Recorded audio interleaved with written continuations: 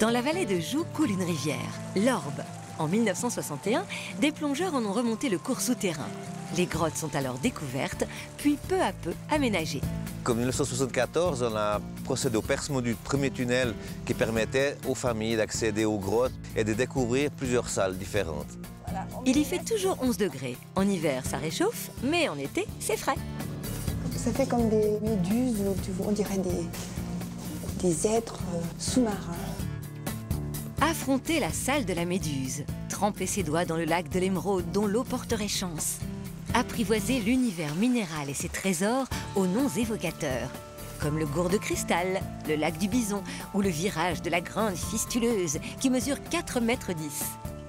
Ici, l'eau fait son travail et toutes les formes minéralisées sont représentées. Tout au long du parcours, vous allez pouvoir longer l'orbe une certaine partie pour remonter la rivière et arriver dans la dernière salle qui est la cathédrale.